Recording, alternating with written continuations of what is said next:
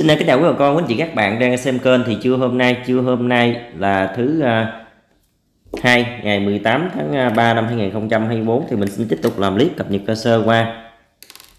tình hình uh, với Bích Thái vào buổi trưa hôm nay tại khu vực miền Tây, khu vực đồng bằng sông Cửu Long, khu vực miền Đông, khu vực Tây Nguyên cho quý bà con, quý anh chị các bạn cùng mà tham khảo. Thì ngoài cập nhật hình với Bích thì mình còn có làm thêm những clip cập nhật giá cả một số là nông sản khác trên kênh. Quý bà con, à, quý cô bác anh chị nào có xem kênh có quan tâm đến với Bích hay một số là nông sản khác hàng ngày thì có thể vào trong danh sách video ở trong kênh để xem. Kính thưa quý bà con quý cô bác anh chị các bạn.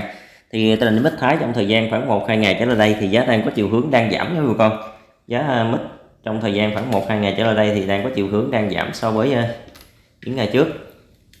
Giá giảm thì cũng à, khá là nhiều. Hôm nay thì giá mít tiếp tục đang có chiều hướng đang giảm rất là nhiều so với ngày hôm qua. Hy vọng là trong thời gian sắp tới thì giá sẽ tăng trở lại khu vực Vĩnh Long, khu vực Cần Thơ, khu vực Hậu Giang. Kem lớn dao động ở mức từ 24 000 kem nhì là 18.000 và bích kem 3 là 10.000 chợ hiện nay tại khu vực Vĩnh Long khu vực Cần Thơ khu vực Hậu Giang thì thương lái đang mua chợ với cái động từ ờ, 4.000 khu vực Đồng Tháp khu vực An Giang khu vực Long An thì mít kem lớn đang dao động ở mức từ 25.000 kem nhì dao động ở mức từ 20 và mít kem 3 là 10.000 chợ hiện nay tại khu vực ờ, Đồng Tháp khu vực An Giang khu vực Long An thì thương lái đang mua chợ giúp cái động từ ờ,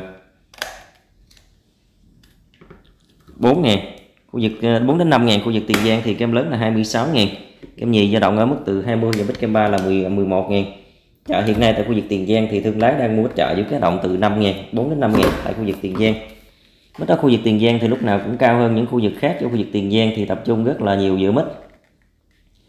còn tình hình giá mít ở khu vực miền Đông như khu vực Bình Dương, Bình Phước, Đồng Nai, khu vực Vũng Tàu, khu vực miền Đông hiện nay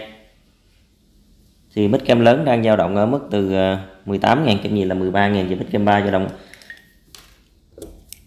kem lớn dao động ở mức từ 17.000, kem gì là 12.000, và bít kem 3 dao động từ 8.000. chợ hiện nay tại khu vực miền Đông thì thương lái đang mua chợ dưới cái động từ à,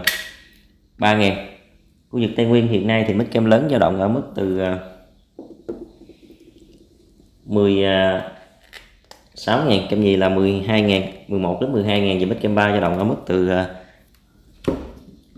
7.000 mít chợ hiện nay tại khu vực Tây Nguyên thì thương lái đang mua chợ dưới cái động từ 3.000 tại khu vực Tây Nguyên